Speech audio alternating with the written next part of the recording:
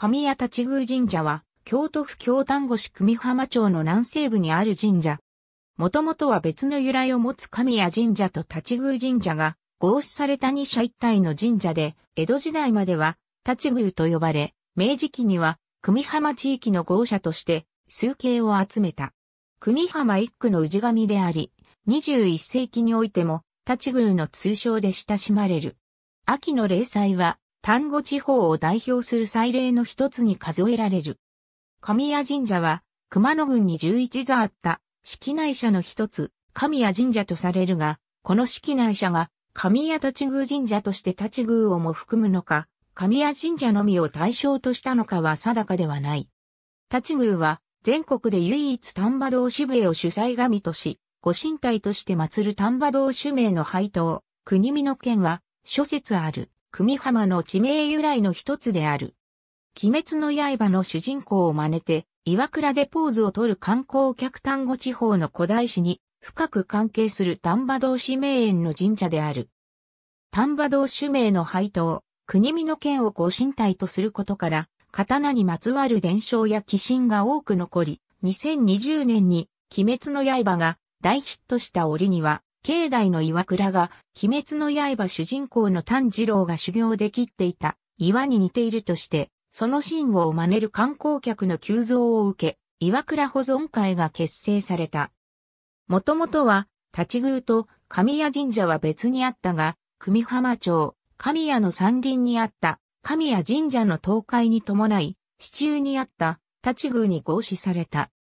式内社としては、神谷神社の名で記録されるが、江戸時代まで故障及び様々な古文書における通称は立ち宮であり、21世紀においても地元では立ち宮の愛称で親しまれる。国浜一区の氏神であり、喧嘩祭りの流れを組む秋の霊祭は、京丹後市を代表する祭りの一つに数えられる。丹後地方で唯一大社作りの様式を持つ神谷神社本殿と旧組浜県庁の建物の一部を移築した参考館が京都府指定文化財であり、境内社の八幡神社本殿と神門と鳥居が京都府登録文化財となっている。また、境内一帯が文化財環境保全地区となっている。江戸時代から変わらない道筋の参道。正面に八幡神社及び岩倉、鳥居手前の右に神谷神社が位置する。神谷神社の創建は、伝承によれば、第十代崇神天皇の時代に遡る。地方平定を命ぜられた丹波道主名が山陰道を巡察した際に、前途洋々たることを祈願して、出雲国から八千穂の神を招き祀ったのが始まりとされる。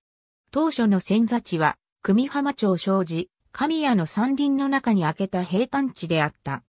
この古地は神谷明神国と呼ばれ、この地に残る旗指神社は立ち宮の旗持ちであったという。神谷神社は後に現在地、組浜町小寺をたりの立ち宮に合祀したことによって場所を移したが、毎年の霊祭では神谷地区から大登りを立てる風習が残る。山陰道巡察を終えた丹波道主名は、その後、組浜町小寺川上の須田に屋敷跡が残る豪族の娘、京丹後七姫の一人にも数えられる、川上増井ら爪を妻とし、その娘ヒハス姫ら五人を、水任天皇に嫁がせて、県政を振るった、組浜に、縁の深い人物である。丹波道主名は、水任天皇の代に死去したが、追亡する人々が、組の地に神社を創建して祭り、丹波道主名の博士であった、国見の県を神霊とみなした。この神社を、立ち宮という。組浜の地名の由来は諸説あるが、一説に、組の字は古来は国見とも表記し、この丹波道主名の配当、国見の県に由来するという論がある。この通り、神谷神社と立ち宮神社はもともと全く別々の神社であったところ、後に神谷神社が歳月で大破したことを受けて、立ち宮に合祀された。以来、神社は神谷立宮神社となり、神社の変額や祭記には神谷立宮と記されている。合祀に際し、神谷の名を先とし、立宮を後輩とした理由は、丹波道主名の感情によって、八千穂の神が祀られた経緯を尊重し、丹波道主名を祀った立宮を別号としたものだが、一般には神谷立宮あるいは他案に立宮と呼ぶ風習が引き継がれている。古文書類においても立ち宮と記されるのが通例であるが、演技式神明帳には神谷神社と記載される。合祀の時期はこれより以前であるため、立ち宮は記載されなかったと考えられている。神谷立ち宮神社に関連する記録は、神儀史、神儀資料をはじめ10以上の古文書に残り、年月日の明らかなものでは1596年9月7日の沢渡守康之から伝示を寄進されたことに関する文書、1603年8月20日の匠女正重による立ち宮車両に関する文書などが残る。古来から人々の数形を集め、熊野軍師には、西四位与種、鴨名上の、地派や古神夜なからの神谷は、ウヘコ即宿、あやしかりけりや、山なせるりは、この上に五百四差しそひえて雲をしのげ熊榊など、神谷立宮神社を読んだ七編の和歌が記録されている。1781年に本殿を再建したが、その折には1770年から組浜町中の人々から毎月一銭を積み立て、神主宅に集まった氏子らの立ち会い評議の元神宮のおみくじで、三付一条一尺無記作と破風の旧作とすることを決定した。1873年、豪社に列せられる。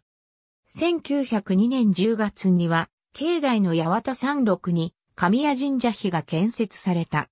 神谷立宮神社は合祀されているが、本来は由来をことにする別々の神社であり、祭神も異なる。神谷神社本殿八幡神社本殿、大正時代末期の文献と、2020年現在の現地案内版とで、境内者の名称にはいくつかの際が見られるため、併記する。参考館参考館は、1870年に建造された旧組浜県の県庁舎の一部分、具体的には、玄関棟にあたる部分を1923年に譲り受け、神谷神社境内に移築したものである。神谷立宮神社の神職である佐治氏は、現存する最古の記録で706年には、神職として神谷立宮神社に代々、法務し、京都府熊野郡市の編纂主任にも名を連ねる。当初は、立ち宮公古館と呼ばれた、参考館の建造は、郷土にまつわる古文書や古記物など、歴史的な資料を収集し、郷土研究に役立てることを目的とされた。後に、社務所、祈祷所と位置づけられるが、2020年現在は、老朽化により立ち入りは制限されている。京都府指定文化財となっている。文化財環境保全地区、大正末期の時点で1676坪と記録される境内には、もともと、組浜の氏神であったという寒川神社など、いくつもの祠が現存する。参道は、岩倉のある立ち宮から見て正面に、南西に面した神谷神社本殿から見て垂直に南東に伸びる。水田の中を通る約100メートルほどの松並木である。参道、境内は神谷神社の前を過ぎたあたりで、大正時代以前の道路改修の際に、境内地を横断することとなった市道をまたぎ、立ち宮を祀る八幡山山六に続く。参道の正面、大正期以前に付設された市道によって境内が分断された神谷神社本殿の作法の八幡山山六に、抹茶の八幡神社の本殿があり、その作法に複数の巨岩が地中から生えるように剥き出しになった岩倉がある。八幡神社側の境内坪数は大正時代末期の時点で983坪である。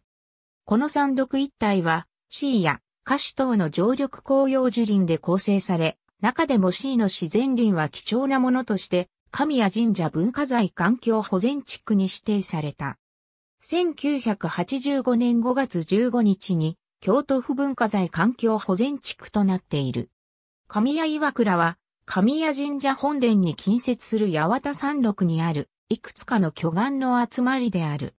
最も大きい岩が、高さ約5メートル、集計10メートル以上あり、古来より正常の地として、しめ縄をかけて祀る。この中央部には縦にざっくりと裂いたような隙間が南北方向にあり、2020年には鬼滅の刃の主人公が切った岩に似ているとして注目を集めた。元は一つであった岩が割れたものなのか、二つの岩が合わさってこのような形状をしているのかは明らかでない。北を向いた割れ目の先には北極星があることから、郷土視野の間では、社殿が創建されるより、以前の自然崇拝、巨岩信仰の名残であると考えられている。巨岩と巨岩の間、東西に開けた場所では、縄文時代には夏至に朝日が差し込んだ角度と同時に太陽が沈んだと角度と見られる位置に割れ目があり、差し込む陽光を受けるヒールストーンのような役割をする石を備えることから、これらによって農作業の鉄器を測ることが可能であったと推測して、古代太陽祭祀の後と見る説がある。参道横の剣岩参道の横、神谷神社社殿域と原井所の間にある平たい巨石である。神谷神社の創建の折、丹波道主名は進化に命じて、八千穂の陣を勘定するのに良い場所を探させたが、地層を見た進化は後に自分が住むために敵地を隠し、領地はないと報告した。このため、神谷神社は山中の神谷に作られた。後に、嘘が露見し、起こった丹波道主名に追われた進化は、大岩の影に隠れ、丹波道主名が振り下ろした刀は誤って、大岩を真二つにした。進化は和睦を申しで大根を捧げて縁を開いたという。神谷立宮神社の霊祭で、組浜町正治奥間寺から大根を報じるのは、この剣岩の伝説に由来する風習である。不登録文化財の三門神谷神社の本殿と境内にある三交館が京都府の指定文化財に神谷神社の神門と鳥居、抹社の八幡神社本殿が京都府の登録文化財に登録されている。いずれも所在地は組浜町新町として1985年5月15日に府の文化財指定及び登録を受けた。神霊と祀った国見の剣は現存していないが、この封建が損なわれていることを嘆いた京極氏から江戸時代に送られた宗近荒見の太刀が残る。また、代々の組浜大官らも、刀剣や灯籠などを数多く寄進した。代表的な祭礼行事に、神谷立宮祭り、または、組浜一区の秋祭りと称する秋の氏神祭りがある。江戸時代以前には2日間にわたって2台の神輿が出て、神輿の他には太鼓台と林屋台が出て、屋台狂言を演じた。明治時代になると、組浜の前長が車輪付きの太鼓台を出すようになり、次第に太鼓台同士を激しくぶつけ合い、勝負がつくまで激しく、太鼓を打ち合う喧嘩祭の様相を呈した。1912年、ついに見物客から死傷者が出る事故があり、太鼓台は10年間の出動停止処分を受けた。この処分は、町民らの嘆願によって1920年に解かれ、翌1921年以降は、氏神霊祭である10月17日を本祭とし、新調された太鼓台からは車輪が省かれ、みこしのように担ぐものとなった。祭礼再開のために新調された太鼓台は、神楽山、美、城山などの5基であり、太鼓台の他にみこしも町内を巡行する。みこしや各太鼓台は青年団によって町内を巡行するほか、神谷立宮神社境内で先高や空の背などの技を披露し、奉納とする。本祭の前夜には、太陽に見立てた赤い提灯をつけた、日和神楽が子供らを先頭に町内を練り歩く。この祭日は、2000年以降は10月の第2日曜日に移行した。所在地交通アクセス周辺。ありがとうございます。